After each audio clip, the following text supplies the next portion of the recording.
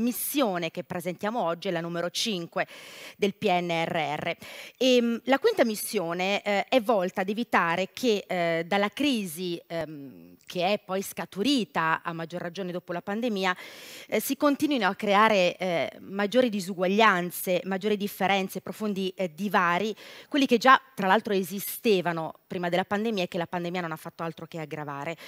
E, ehm, mh, voglio eh, che introduca questa missione Alice Polzoni, studentessa della Luis Carli e membro del progetto SEO for Life eh, Luis, fa parte della task force per darci proprio una panoramica, un overview di questa mission. Grazie Alice, benvenuta.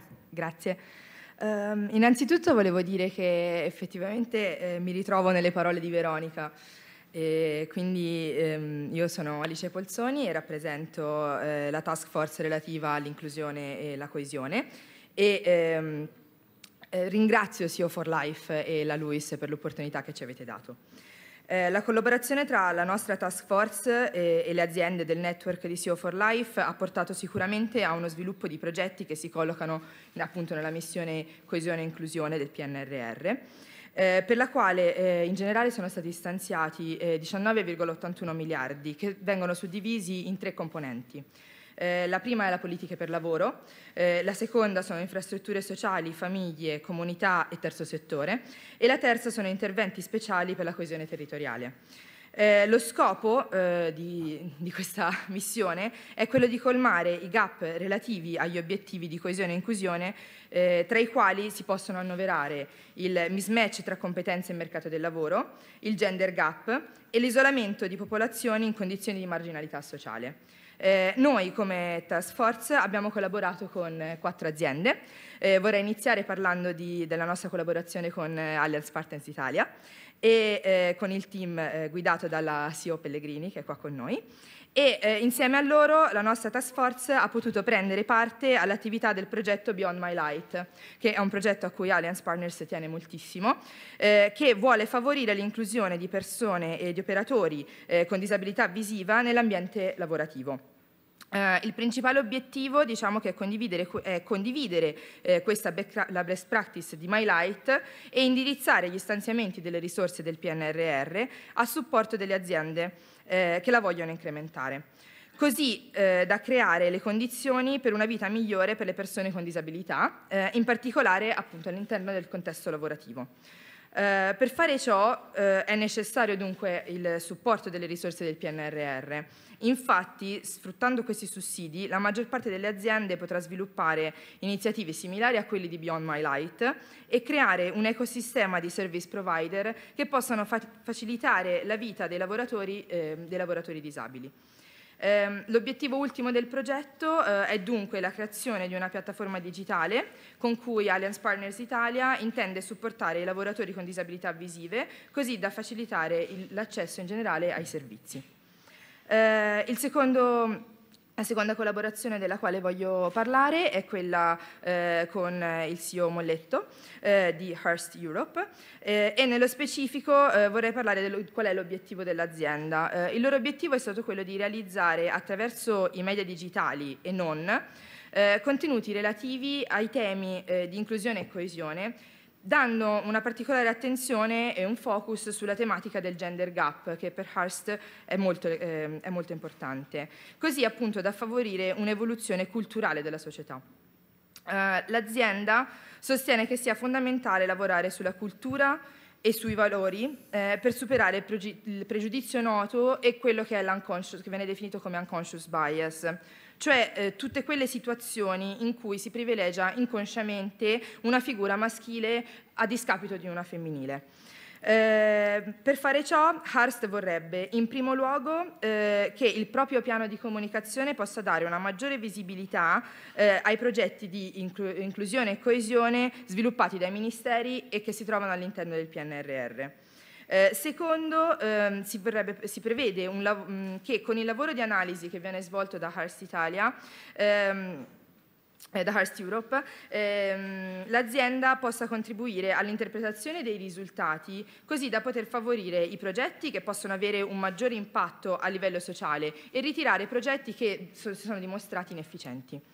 Per ultimo, grazie alla collaborazione reciproca tra gli studenti e l'azienda, eh, si potrebbe fornire un ulteriore impulso coinvolgendo anche altre realtà aziendali che appunto condividono questo obiettivo, quindi non rimanere eh, chiusi nella, nella realtà aziendale singola, ma aprirsi a tutte le aziende che condividono l'obiettivo della riduzione del gender gap. Eh, un altro dei, dei, progetti che è stato portato avanti è stato portato avanti con eh, la CEO Panaia di Enkel e eh, questo progetto si intitola La collaborazione pubblico-privato per, eh, per, la parità di genere nel mondo del lavoro. Eh, il macro obiettivo eh, di, questo, di, questo, progetto diciamo è quello di approfondire il tema della disparità di genere che è presente nella nostra società con una penalizzazione evidente eh, nel mondo del lavoro del, del genere femminile. Ehm, con esso ciò che si vuole fare è aumentare la percentuale di donne eh, all'interno del mercato del lavoro coinvolgendo simultaneamente il settore pubblico e privato in questo nuovo modello di collaborazione strutturata per veicolare eh, nuove sinergie e quindi a creare azioni concrete. Eh, il, il, il, fine eh, è quello di raggiungere attraverso eh, questa, questo, questo approfondimento tre risultati eh, il primo è l'istituzione di eh, un tavolo di lavoro permanente che possa permettere la diffusione di linee guida uniformi a livello nazionale per favorire la partecipazione femminile eh, all'interno sia delle aziende eh, private che delle istituzioni pubbliche. Eh, il secondo obiettivo è quello di eh, realizzazione di, eh, degli obiettivi della strategia nazionale per la parità di genere nell'ambito delle cinque priorità strategiche che sono state individuate, che sono lavoro, reddito, competenze, tempo e potere. Concludendo, eh, l'ultimo obiettivo è il riposizionamento dell'Italia all'interno del Gender Equality Index, eh, per apportare quei significativi benefici che possono essere sia economici che sociali e culturali per l'intera cittadinanza, non esclusivamente per le donne. Infine, eh, abbiamo collaborato con ehm, la CEO Fatarella per eh, Save the Children Italia e eh, con loro abbiamo sviluppato due progetti. Eh, il primo è denominato eh, T3, Empowerment femminile e impresa sociale, che ha un duplice obiettivo. Eh, il primo è quello di favorire l'empowerment femminile, come dice il nome, e il secondo è quello della generazione di un modello di impresa sociale con lo scopo di promuovere il ruolo del terzo settore. Eh, il progetto si basa eh, sullo sviluppo di un modello di impresa sociale eh, tramite l'integrazione all'interno della filiera produttiva eh, delle mamme che frequentano i centri spazio mamma. Questo è un progetto che viene portato avanti da, ehm, da Save the Children dal 2014 e eh, diciamo che lo scopo è quello di aumentare i livelli di autonomia delle mamme valorizzando eh, le loro risorse. Eh, il secondo progetto invece si chiama Hub 06 eh, ed ha come obiettivo l'aumento dei livelli di inclusione dei bambini e delle bambine tra gli 0 e i 3 anni all'interno di asili nido e servizi educativi. Questo ha lo scopo di ridurre le disuguaglianze e incidere positivamente sullo sviluppo cognitivo. Eh, l'output atteso è quello di creare un modello inclusivo e facilmente replicabile, così da poter supportare sia la, gen la genitorialità che sostenere i bambini più, più, vulnerabili che si trovano in situazioni svantaggiate.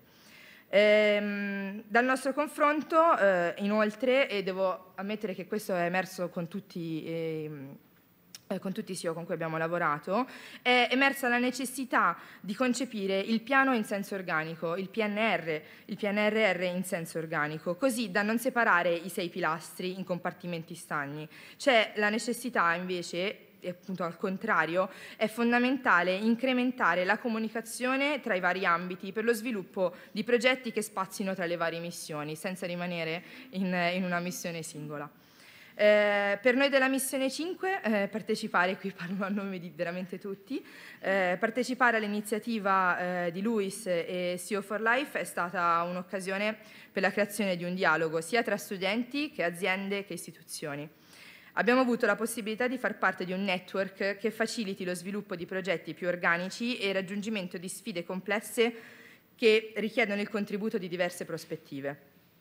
Eh, in primo luogo, per noi studenti questa esperienza significa avere l'opportunità di collaborare in progetti con grandi aziende, eh, con obiettivi che ambiscono ad avere un impatto sociale a livello nazionale. Eh, questo network inoltre pensiamo che determini per le aziende la possibilità di confrontarsi con le idee innovative proposte dagli studenti, eh, con, la, con, la, guida delle istituzioni e con i progetti implementati dalle altre organizzazioni. E qua rivediamo il, il senso dell'organicità. Eh, infine, eh, l'unione delle prospettive delle competenze e delle realtà differenti eh, contribuisce a creare una maggiore efficienza ed efficacia nel perseguimento degli obiettivi ehm, descritti appunto all'interno del, del PNRR. In altre parole, pensiamo che il beneficio generato da questo network riguardi l'intera com comunità nazionale e eh, grazie alla velocità e alla facilità di interscambio di informazioni e proposte che permette di realizzare soluzioni comuni. Grazie. Alice, grazie.